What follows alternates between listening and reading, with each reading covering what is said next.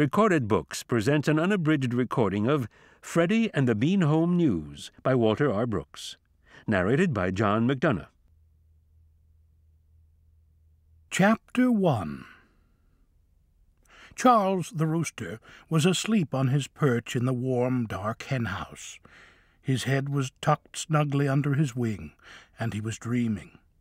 He dreamt that he was giving his wife Henrietta her orders for the day.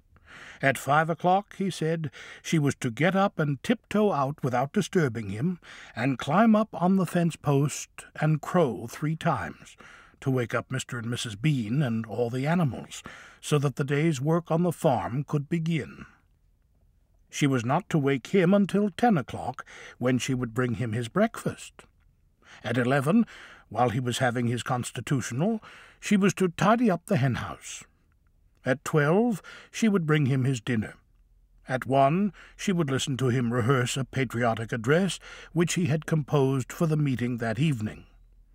At two, it was a nice dream, but unfortunately, when he had got that far in it, a sharp peck on the shoulder awoke him. It was something that happened every morning of his life, yet somehow he had never got used to it. His head came out from under his wing with a jerk. Yes? What is it? What's wrong? he gasped. Oh! Oh, dear me! I wish you wouldn't poke me like that, Henrietta. Nonsense, said Henrietta. I hardly touched you. Now get along out there and crow. It's five o'clock. Yes, dear, said Charles submissively. He ruffled his feathers, shivered, and then sneezed. He sneezed so hard that he blew two of his daughters right off the perch beside him. Good gracious, said Henrietta. I do believe you're coming down with a cold. Oh dear, what next? Charles knew that he was not coming down with a cold. He had sneezed because, when he had pulled his head out from under his wing, a feather had tickled his nose. But Henrietta's remark had given him an idea. It was no fun to wade through icy slush to the fence post on a raw March day, and to draw in a lungful of damp, cold air in order to crow loud enough to wake everybody up. You had to crow louder on cold mornings, because people's ears were usually covered up with quilts and blankets. Charles was proud of his voice, which was high and penetrating, and considered by some, but principally by Charles himself, very musical. Indeed, on fine mornings he often kept on crowing just for the pleasure of hearing himself, until the other animals chased him back into the henhouse. But this morning he thought it would be much nicer to stay in, where it was warm, and let someone else get things started. So he said, I believe I am coming down with something this morning and he took a deep breath, and then let out just a faint squawk and said, I can crow, Henrietta. Well, said his wife, I shall have to go out and crow for you. You try to go back to sleep, and I'll fix you up when I get back. So Henrietta went out and got on the fence post. Henrietta had never tried crowing before. Like most hens, she thought she could crow as well as a rooster can. But when she got up on the post and opened her beak, all that came out was a cackle. And if Mr. Bean or any of the animals heard it, they just thought it was Henrietta scolding Charles, and turned over and went to sleep again. Henrietta tried and tried, but nobody paid any attention. Nobody, that is, except Freddy the pig. Freddy was a sound sleeper, and sometimes Charles had to come right down and put his head in the door of the pig pen and crow in order to wake him up. But when he had some especial work to do, I dare say there was no pig in New York State that got up earlier in the morning. And this morning he was working out a plan for a scrap drive that he was to present to the animals at a meeting in the cow barn that evening. So when he heard Henrietta's excited cackle, he rushed to the window. Of course, it didn't do him much good to rush to the window, for the panes were so dirty that you couldn't tell whether it was daylight outside, much less see anything that was going on. Freddy had put off having them washed because he didn't like being disturbed, and also perhaps because he didn't like having visitors he didn't want to talk to peeking in the window to see if he was at home. But after all, when it was getting so bad that you couldn't tell any more if the sun was shining or not, something would have to be done about it. And muttering, I really must have that window washed, he went to the door. When he opened the door, he couldn't see much more than he had through the window, because the sun hadn't come up yet, but the moon was setting, and in its light he could just make out what he supposed to be Charles on top of the fence post.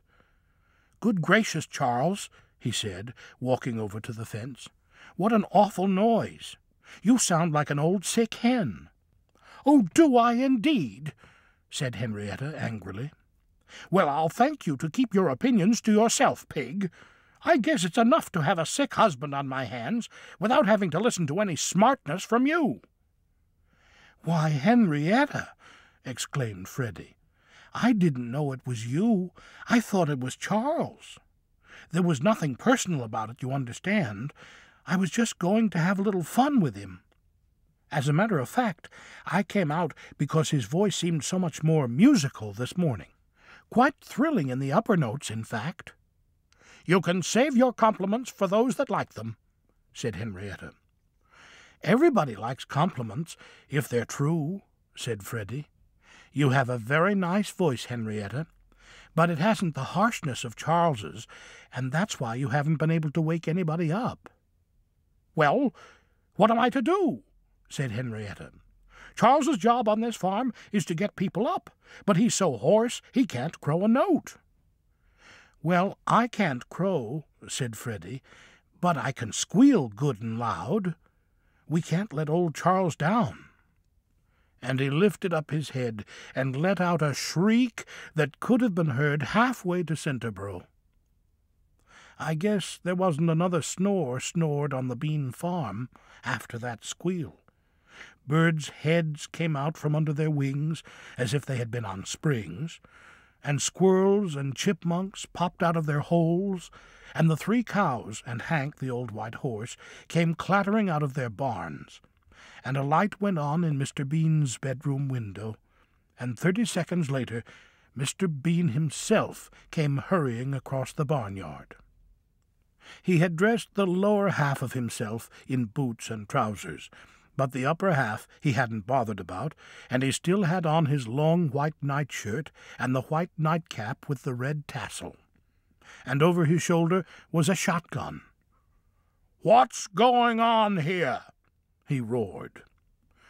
Henrietta sat on the post and didn't say anything, and neither did Freddy, because although in a way Mr. Bean was very proud of his talking animals, he had a kind of old-fashioned notion that animals should be seen and not heard. So, unless it was absolutely necessary, none of them ever spoke to him directly, although they talked to Mrs. Bean a good deal. But Mr. Bean was pretty sharp. He peered at Henrietta on the post, and then at Freddy, and then he said, Hmm, whistling girls and crowing hens. Heard of them before. Never heard of a crowing pig. Where's Charles? Sick? And he went over to the hen house and turned the beam of a flashlight on Charles, who blinked miserably and sniffed.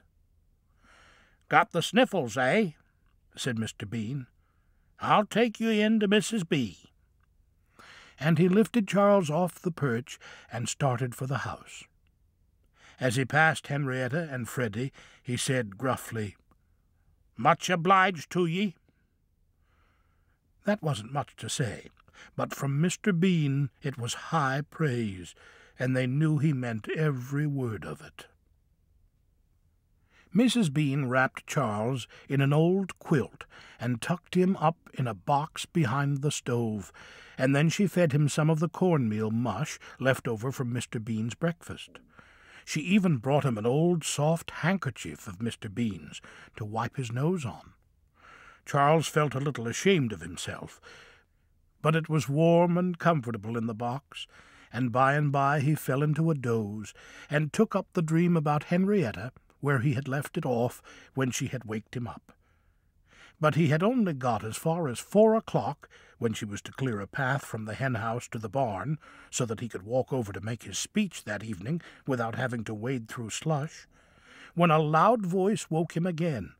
Hi, Charlie! How's the boy?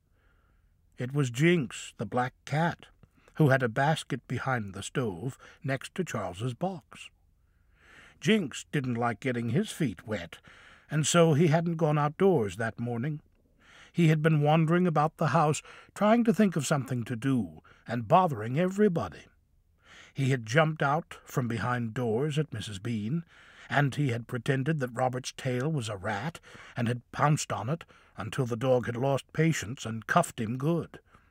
He had tried to chase the mice when they had come up through the holes in the floor that Mr. Bean had bored for them to get the crumbs from breakfast. But it wasn't much fun, because the mice didn't pay any attention to him when he crouched and lashed his tail. They just said, Oh, be your age, Jinx, and went on hunting crumbs. So at last he decided to take a nap in his basket, and it was then he saw Charles. Although he was a nice cat, Jinx did not have a very sympathetic nature. But when he heard that Charles had a cold, he said, Golly, that's hard luck. You won't be able to make your speech tonight, then. Oh, my goodness!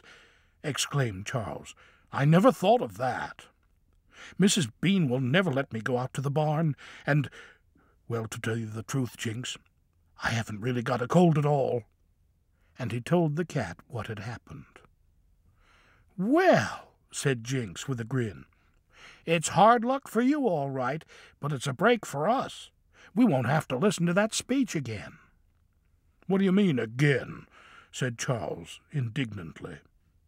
This is a brand new speech, a speech designed to inform the animals on this farm of their high privileges as citizens of a free nation, to save it, interrupted Jinx. You see, Charles, your speeches, well, it's like Mrs. Bean cooking spinach. Sometimes she cooks it with cream, and sometimes with butter, and sometimes this way and sometimes that. But in the end, it's always spinach that gets to the table. Now, your speeches. I won't have my speeches compared to spinach, said Charles huffily. Tisn't a fair comparison, I'll admit, said the cat because spinach does you a lot of good, while your speeches. But Charles had pulled his head down under the quilt and refused to listen to any more. After a little, Jinx got tired of waiting for him to come out and went off to find somebody else to tease. Charles could hear Mrs. Bean's quick footsteps moving around upstairs, making the bed. He climbed cautiously out of the box and looked around. The pantry door was open a crack, and he felt pretty sure that the pantry window was open a crack, too. If it was open wide enough so that he could squeeze through, he knew that it was his one chance of making that speech. Mrs. Bean would never let him go out for the evening when he had a cold. He could hide somewhere for the rest of the day, and then, when the meeting was in full swing, and Freddy was saying, Our principal speaker is unfortunately not able to be with us this evening, he would make a dramatic entrance and launch magnificently into the speech before Henrietta could stop him, for he knew that Henrietta would be pretty mad. He squeezed through the pantry window with only the loss of a few unimportant feathers. Nobody was in sight, and he legged it for the barn. Hank, the old white horse, had his back turned, and Charles sneaked upstairs into the hayloft. Then he burrowed down into the hay and tried to go to sleep. But a few years earlier, when the animals had come back from their famous trip to Florida, Mr. Bean had put furnaces in the barns, and had also put an electric heater in the henhouse. He had even put a revolving door in the henhouse so that it wouldn't be so drafty. Some people thought that he pampered his animals, but he only said that he didn't see what harm it did them to be warm and comfortable in the winter time. However, there is no denying that Charles had got pretty soft. When you have been able to get heat any time by just snapping a switch, you aren't likely to be very comfortable in a cold hayloft. Pretty soon, Charles was shivering so that his beak rattled. He got out and flapped his wings and did setting up exercises, but as soon as he stopped, he got cold again. But every time he was on the point of giving up and going back to the house, the thought of that big audience, swayed to wild applause by his eloquence, strengthened his determination to stick it out. Along in the afternoon, Mrs. Bean discovered his absence. The young scamp! she exclaimed. Jinx, Robert, Georgie, she called. Where are you? Go see if you can find Charles and bring him back here.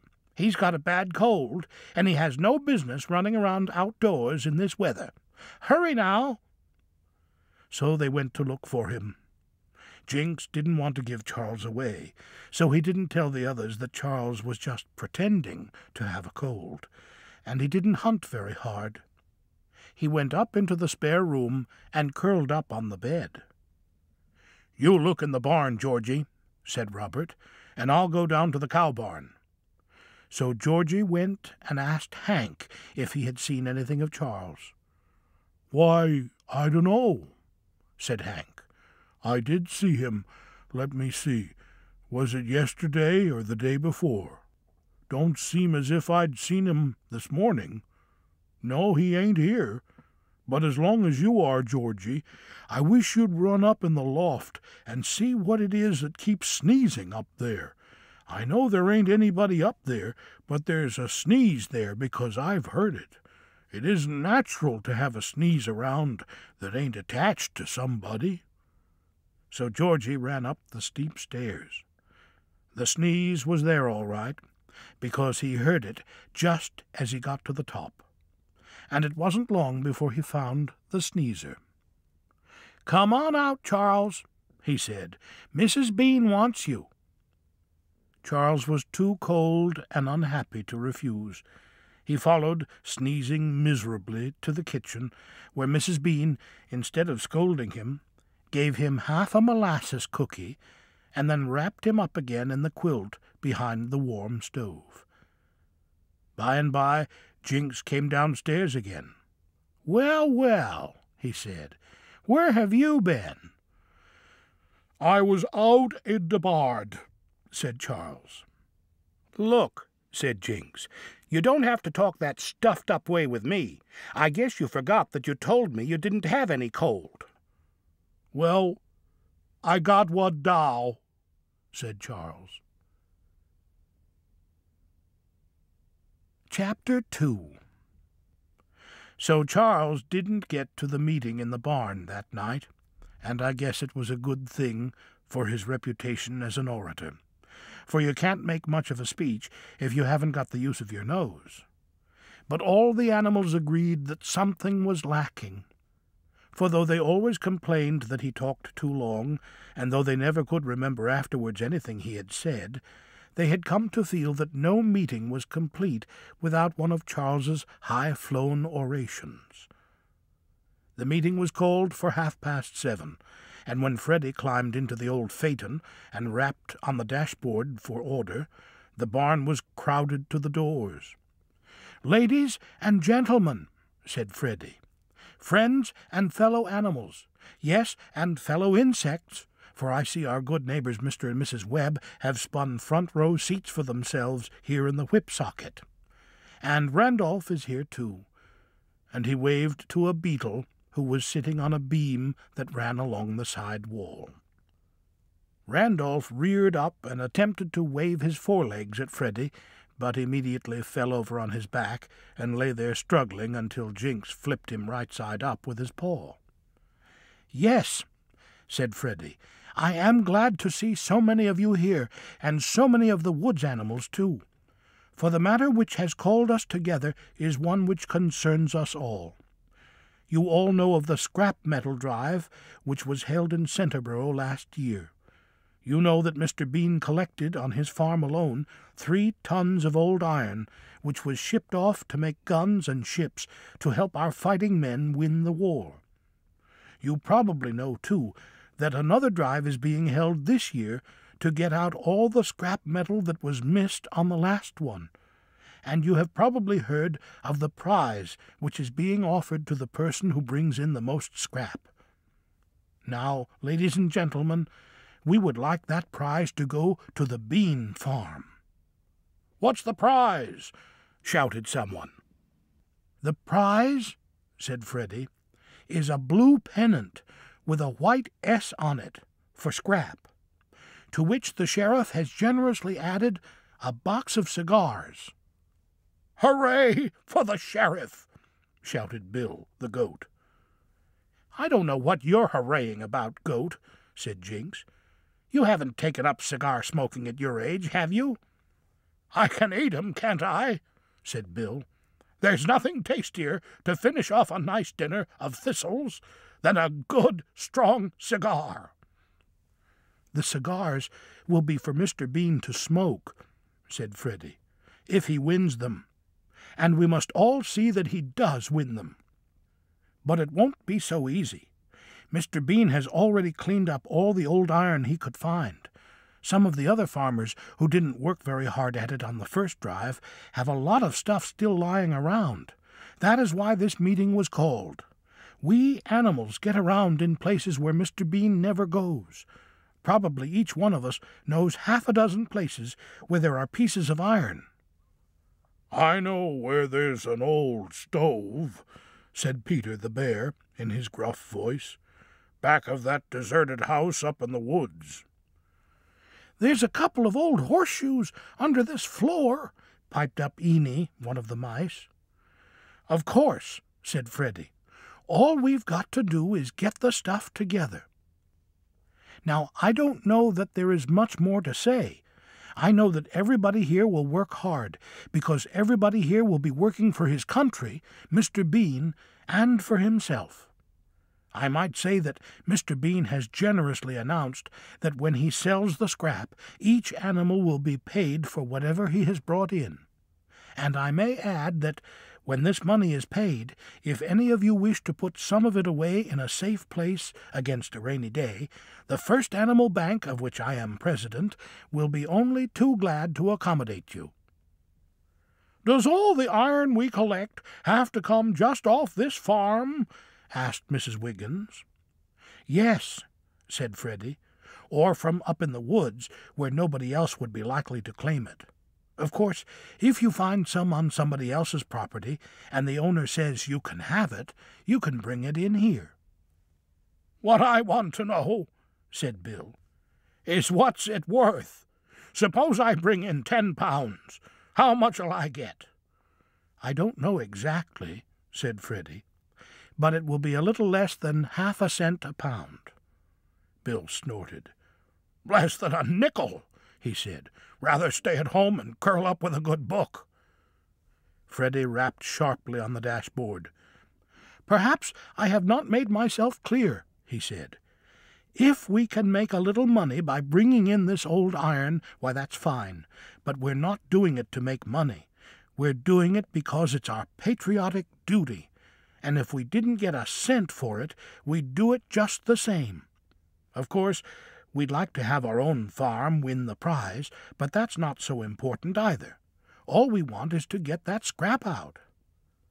The animals gave a cheer at this, and Freddy continued. As you know, our distinguished friend, that superb orator Charles, was to have delivered a patriotic speech tonight. But though I am sorry to announce that illness has prevented his fulfilling the engagement, I am in a way glad that there is to be no patriotic speech. This is no time for patriotic speeches. It is a time for us to get to work. We've got a little over two months until the first of June, and that isn't any too long for what we have to do. So I suggest that as we have an hour or so of daylight left, we wind up this meeting by singing the Star Spangled Banner and then get to work right now.